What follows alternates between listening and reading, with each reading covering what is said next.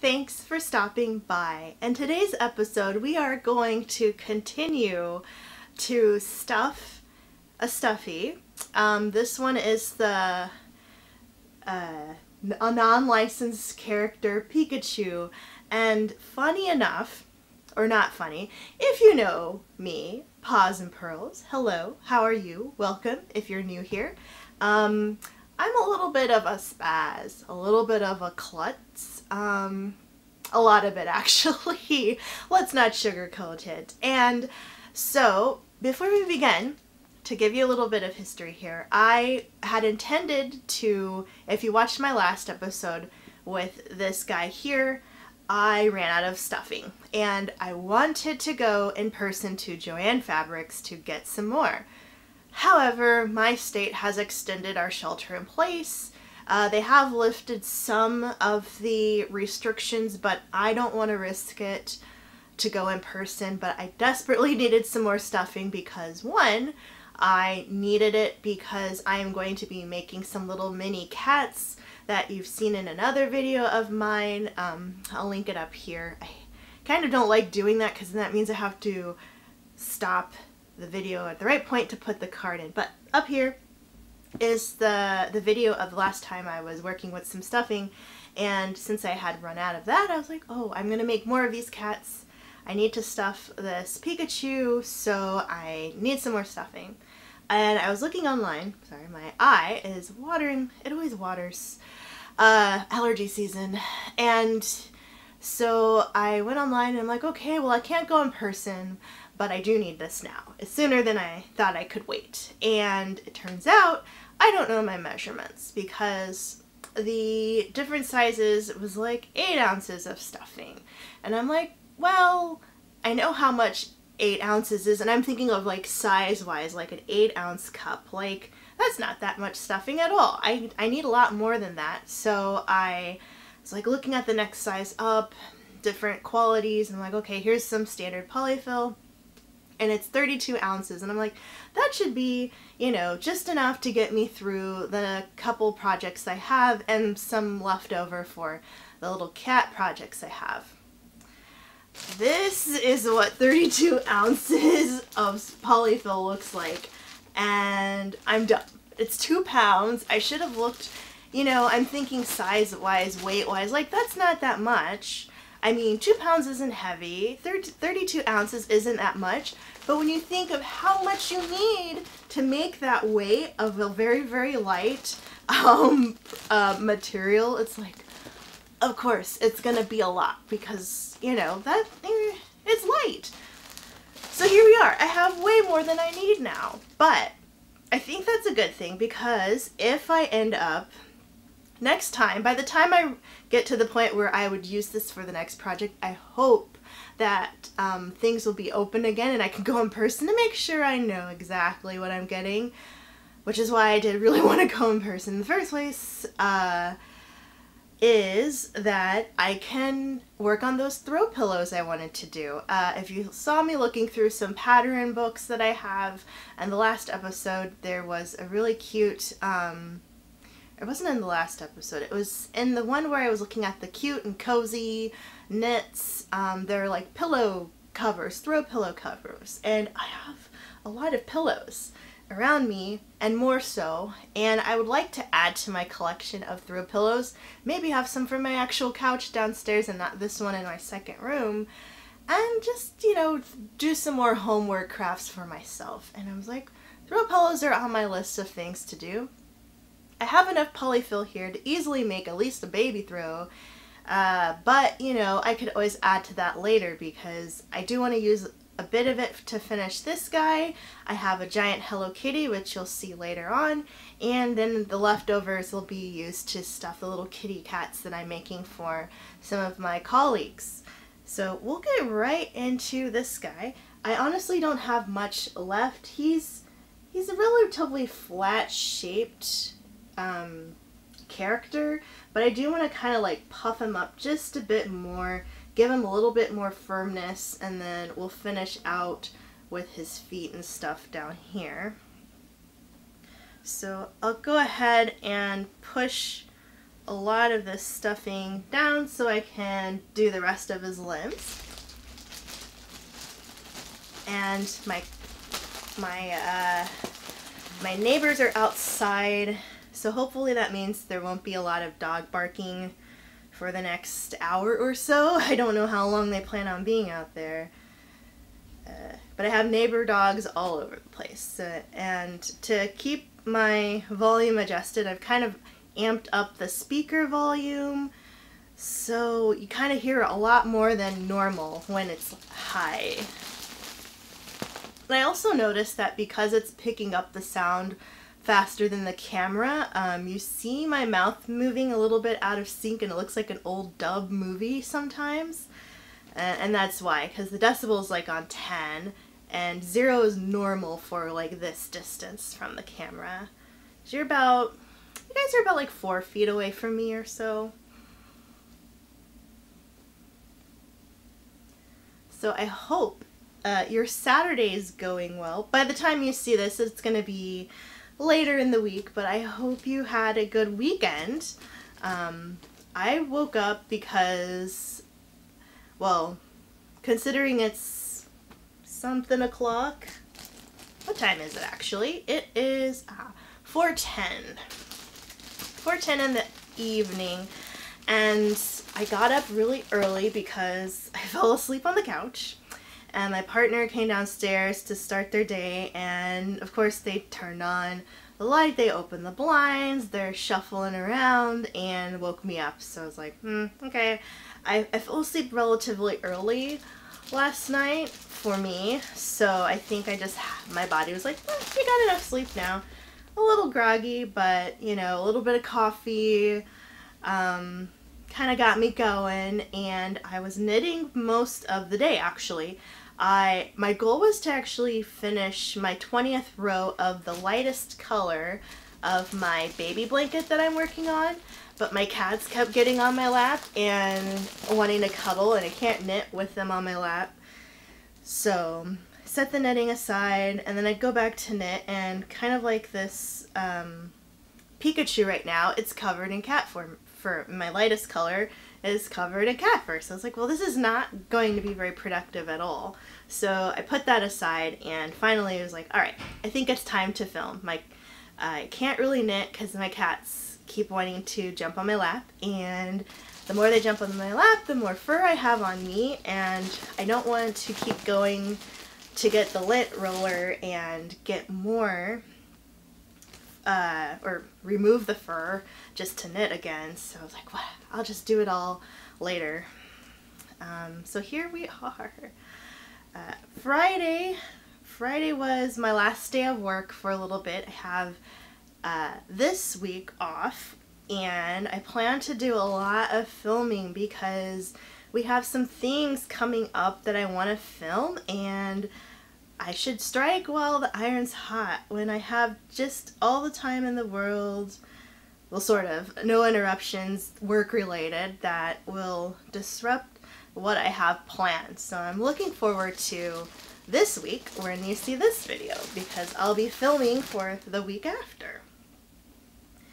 And and the week after that. I'm hoping to get like 2 weeks worth of content done this week while I'm off so that uh, I just have stuff ready to go and we'll see how it how it goes. Cuz really it's not so much that the filming takes a long time like filming is easy peasy but the things that go along with filming like making sure my battery is fully charged switching them out waiting for them to charge uh, uploading the videos editing them.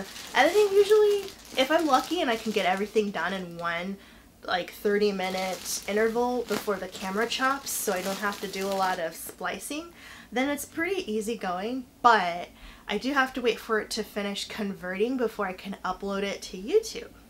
And then once I upload it, uh, it really lags the bandwidth of my internet connection. And since I do share the internet with my partner, I have to wait until they're not doing anything so that I don't hog it all for my uploading. Otherwise it makes it hard for them to do stuff and then they get upset. So I have to wait until like the very, very, very early morning hours when they finally gone to bed so I can get everything uploaded as much as I can.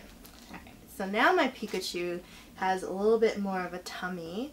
His foot is nice and firm, but I do want this um, this joint to be more firm. So I'm going to keep putting some stuffing there.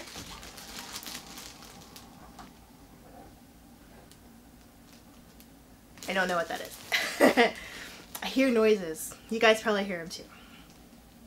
So yeah, so this week is just going to be me churning out some content, uploading, or not uploading, but getting my my video scheduled to upload at their scheduled time that I have set and and just working on that stuff.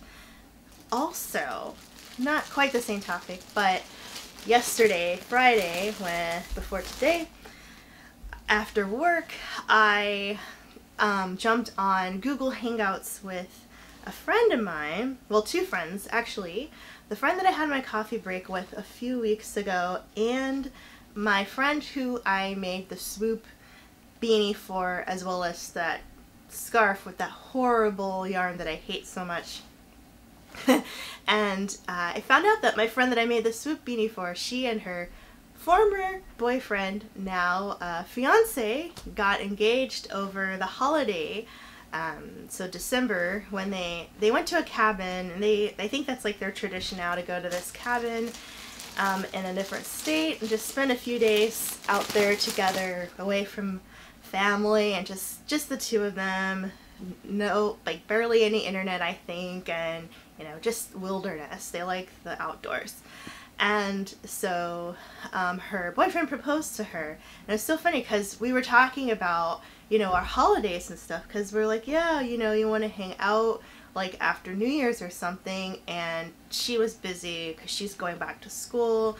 And she's like, well, you know, I'm trying to get my schedule together and stuff. And she mentioned, you know, going to the cabin and having a peaceful holiday, but she didn't say anything about coming back as an engaged woman. And I'm like, on our hangout, I'm like, hey, you totally left that part out. So are joking. I'm like, yeah, that's a big part of your your trip that you didn't tell me about. So what's up with that? But no, I'm super happy for her, which means I have all of these possible projects to knit for them as like their wedding gifts. And I'm so excited because they're not going to get married until 2021.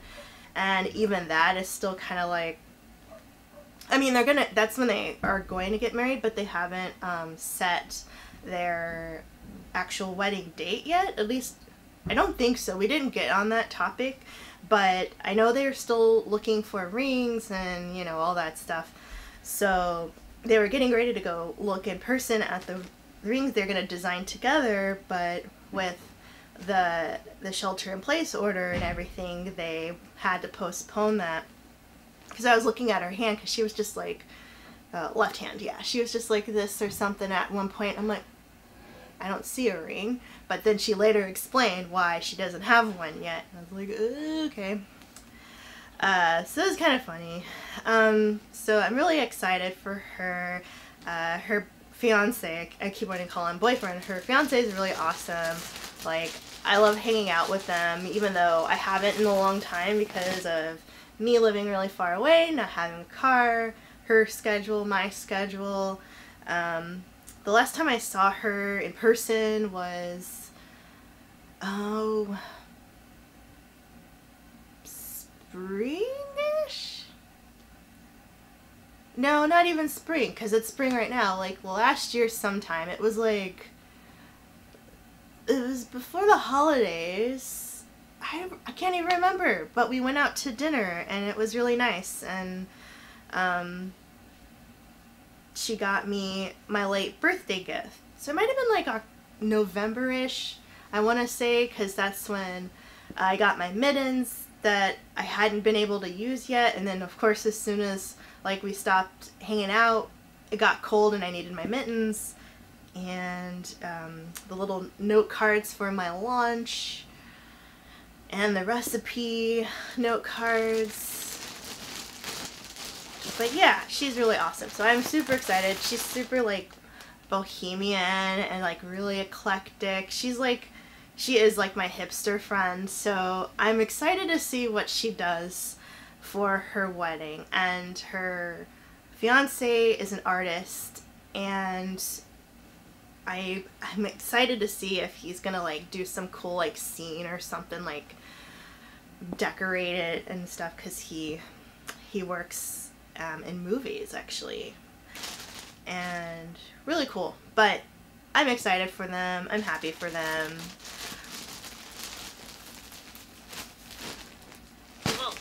But yeah that just kind of like sparked my mind of like all these cool things to make. And it's so funny because I was um, in my in my book. Where did oh this book that I still have not read that much. Maybe I'll do that this week. Read some more of the yarn harlot uh, the secret life of a knitter. Uh, there's a story in here like very early on where she and a new knitter friend decided to make his and hers sweaters for a friend of theirs that was getting married and it was a disaster. But instead of doing something scary like his and her sweaters because it was easy enough for them both to do one sweater each, put them together as a group gift. Uh, she also mentioned trying to knit an afghan for um, either her brother or somebody else who was getting married. She was going to give them that as a gift. She ended up giving them a punch bowl because she could not finish this Afghan. I'm like, his and her socks? That sounds a little easier. And then, of course, his and her socks and, you know, some uh, dish towels, some washcloths and things. I mean, they already have their place. They already live together and stuff. But just to be like, here is your wedding thing. Like, I don't think they're going to do like a registry like that because they have been living together for like three three or four years now, so they pretty much like have all of their life together at this point. But if they add anything else, they know that I love to make them stuff, so I don't think it'll be anything weird for me to show up with something handmade. Um, and knock on um, invisible wood, I have like a year at least until I need to start thinking about what to do for them. Um, but it's good to keep it on my radar now, especially as I decide to like build my yarn stash for that project. If I'm looking at patterns now, I can kind of get an idea of what I might want to do for them. And if I have it already ready to go, uh, that'll save me some time as well. But uh, I do still want to make sure I'm on track with this year's stuff, which is finishing that baby blanket, I found a really cute elephant to buy for the baby. And I'll knit the elephant like a little bow in the same color or one of the colors from the blankets as like an accent color for the bow. And once my partner can get in person with their friend, they can drop it off to them.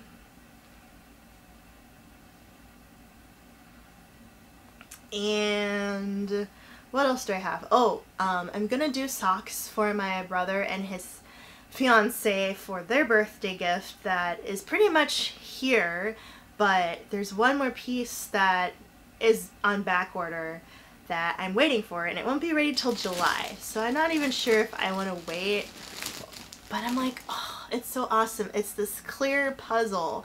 It's a clear puzzle like literally a piece of like acrylic that's been cut into puzzle pieces. So it's hard because you can't see, you know, there's not an image to use as a reference. You just have to go by shape. And they love puzzles. So it's like, ha. But it would be so awesome if it wasn't on back order because now is the perfect time to have a puzzle to work on. And um, I'm pretty sure that might be why it's on back order. Everybody's ordered this puzzle to work on. Alright, so we have ugh, a nice, mm, nah, I think I probably need to make his ears pokier, huh? That'll probably be the next step, but we're pretty much done with this guy. Um, So thanks for watching and I'll catch you in the next one. Bye!